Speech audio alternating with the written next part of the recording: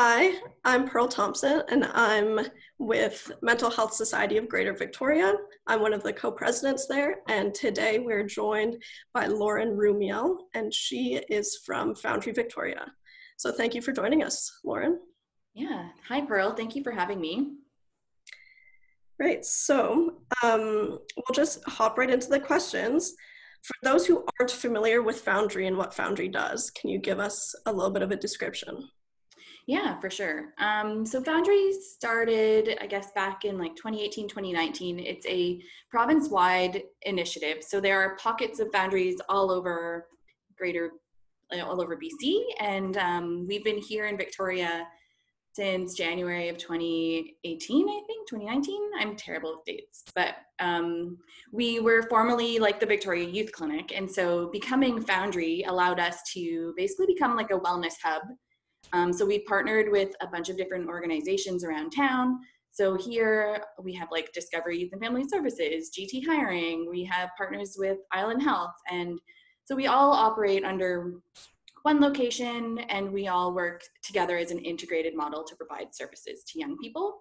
So we are like a walk-in medical clinic that primarily does like mental health and addictions medicine. And then we have drop-in counseling. So any day you can just like walk in and speak with a counselor. We also have like an outreach team. So we are like out in community doing more like practical things, more like case management and support of young people, like applying for income assistance. I'm having difficulty at school. I need someone to come and advocate with me with my teacher, that kind of stuff. And then a huge peer support team as well. So we have um, a lovely peer support worker, Maud. She runs all of our like wellness drop-in groups. Um, she does like check-ins and connections that are a bit different than meeting with a counselor. It's definitely more like a peer mentor, life coach type relationship. And we also have um, a peer support worker from Trans Care BC, and Lux is here to just like help young people just like navigate the gender identity systems and um, just like connecting them with services, helping with name change forms, all that kind of stuff.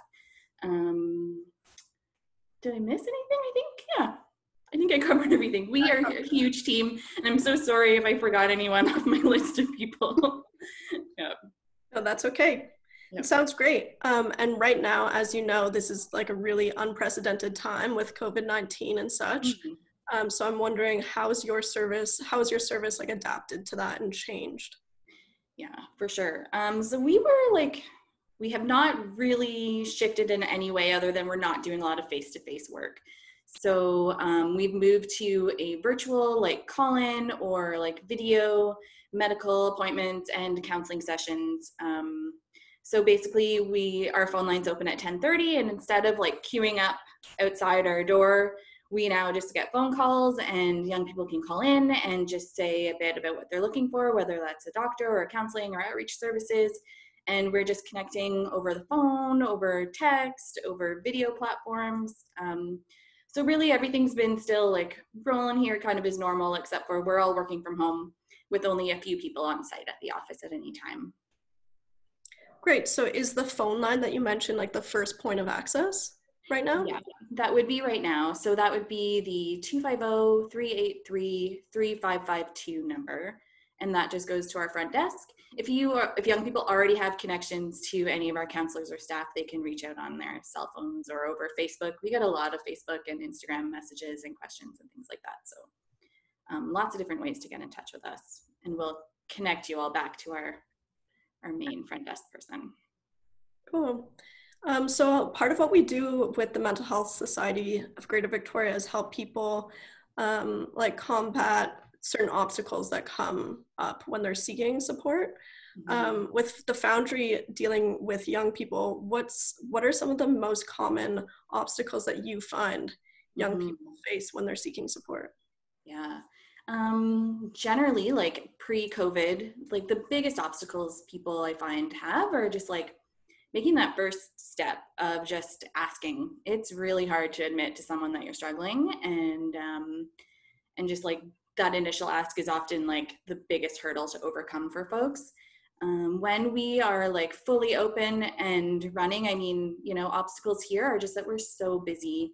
um, when we are at full capacity and doing like face to face stuff. So it can be hard to call on the phone a bunch of times or wait in line days and days in a row to get in to see us. Um, and it's just like goes to kind of show like in Victoria, there's generally like a long wait lists for young people to access mental health services. We have doctor shortages, you know, all of these things that make it it tricky for sure.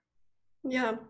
Um, so, what's something that you would suggest to someone who has faced some of those obstacles and might be feeling kind of discouraged or like they've hit a bit of a block? Mm-hmm. Yeah, I think like keep trying, right? Um, reach out to whomever in your life you're close with. I mean, talking to a friend. We have a lot of young people that show up together with their buddy and go through the whole intake process and counseling process together. So use whoever you have in your life as your support. We've had young people like bring their pet with them because that's what they needed to be able to do this process. So we are always trying to be like accommodating and welcoming. Um, but yeah, just don't give up. Um, one of the things that's kind of like COVID has sort of changed us a bit, I think, is that we're easier to access for a lot of folks.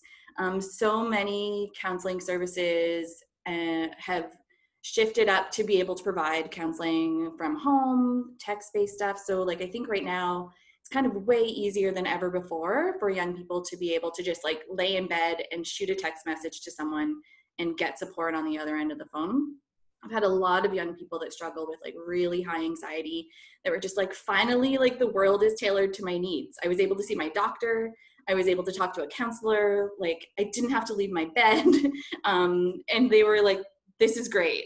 But for other people, it's been hard, right? And they miss that that face-to-face connection. Um, and so we've been trying to be creative with like video platforms and and things like that. And I think we'll continue to to add more like social connections over virtual platforms as we continue through this time. Cool. Those are some really good suggestions. Thank you.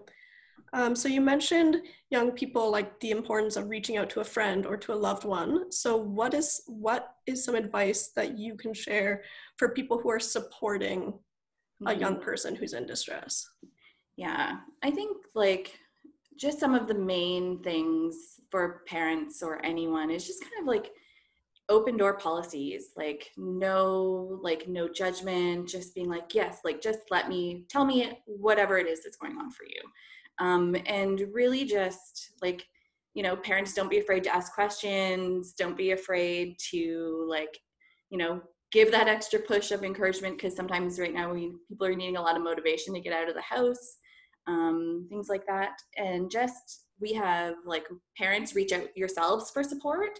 Um, we have parent peer support people here um, that just help coach and guide parents through the process. So a lot of parent navigation a lot of just like venting like yeah like parent vent to me about what's going on and we will help strategize and help support you so you can support your young people so.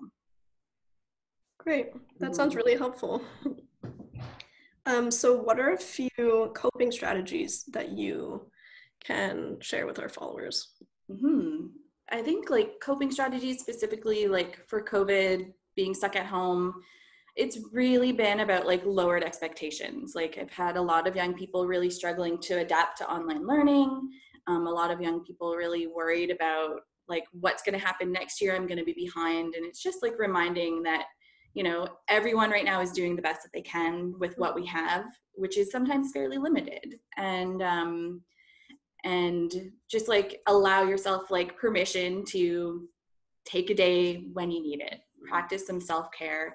Come up with your like five key things that make your day go from like okay to good right? So like what are the things that you need? Like drinking water sunshine talking to my close friend you know eating food every day getting a good night's sleep being active all these different things.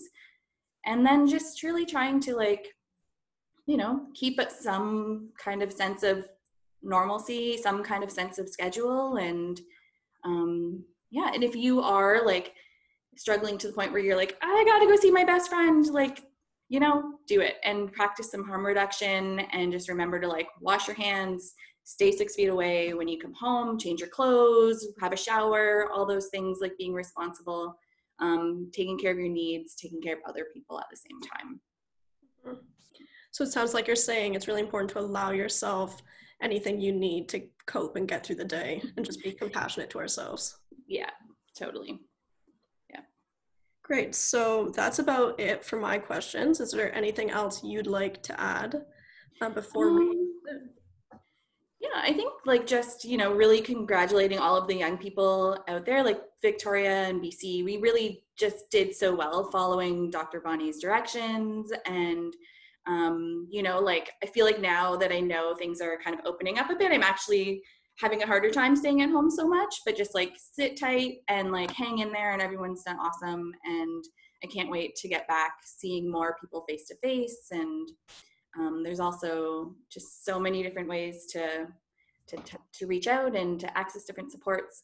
Um, I did forget to mention that Foundry BC has opened like a total virtual platform for all of British Columbia. So if you're watching this video from Nanaimo or like Prince George or wherever, anyone can call in and do drop-in virtual counseling with a counselor um, through Foundry. So that number is 1833 Foundry and the O in the Foundry is a zero. Um, so that's 1833 308 6379. All right. Well, Lauren, thanks so much for joining us today. Yeah, thanks for having me and thanks for doing this. I look forward to seeing all the other interviews and videos you guys are posting. So perfect. Awesome. Thanks. Have a good day. Yeah, you too. Bye.